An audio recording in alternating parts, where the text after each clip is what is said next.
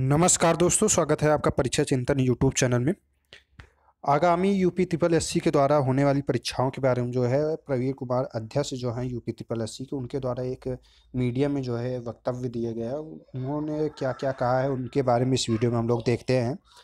तो प्रवीण कुमार जो है, भारत उत्तर प्रदेश अधीनस्थ सेवा चयन आयोग यूपी ट्रिपल एस जो समूह की वैकेंसियाँ जो है, भर्ती कर, भर्ती जो है कराती है।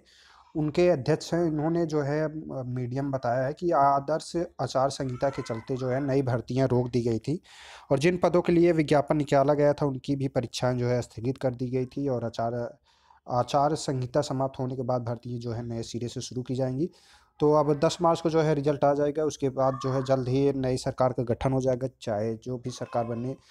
तो अध्यक्ष महोदय के द्वारा जो है बताया गया है कि इनमें से निम्नलिखित जो है पचास हज़ार, लगभग चालीस हज़ार पदों के लिए जो है अगले माह से भर्ती की प्रक्रिया जो है वो शुरू हो जाएगी।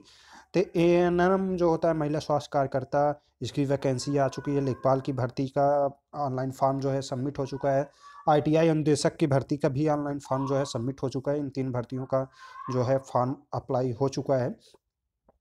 लगभग बीस हज़ार के करीब पदों का जो है अध्याचन आयोग ने जो है और नोटिफिकेशन जो है वो जारी कर चुका है। इनके एग्ज़ाम जो है आने वाले समय में होंगी और अप्रैल महीने में जो है एनएनएम का डेट जो है डिक्लेयर किया गया है तो वहाँ पे कराया जाएगा। इसके अलावा जो आने वाली और वैकेंसियों के बारे में दिए गए हैं कि इसके अंतर्गत जो है नई, जो दो हज़ार इक्कीस पेट है उसके अंतर्गत कौन कौन सी वैकेंसी होंगी तो उनमें अब बच रहा है गन्ना पर्यवेक्षक और टेक्निकल असिस्टेंट की कनिष्क सहायक की प्रयोगशाला सहायक की ईओ व जेई की रोडवेज़ और सिंचाई विभाग की।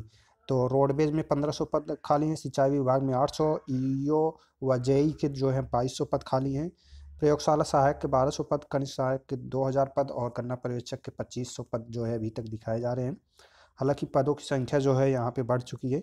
तो उत्तर प्रदेश अधीनस्थ चयन आयोग समूह के करीब चालीस हज़ार पदों पर अप्रैल में जो है भर्तियाँ शुरू करेगा। विभागों से इन रिक्तियों का जो ब्यौरा है, वो आयोग को मिल चुका है। अब ये क्लियर हो चुका है गन्ना पर्यवेक्षक और टेक्निकल असिस्टेंट की जितनी भी सीटें जो है, आयोग को भेजी गई हैं, उनकी रिक्त ब्यौरा जो है, विज्ञापन मिल चुका है यूपी त्रिपल को और विज्ञापन जो है, वो उनके द्वारा विधानसभा चुनाव के आचार संहिता लागू होने के बाद जो है, जारी कर दिए जाएगा।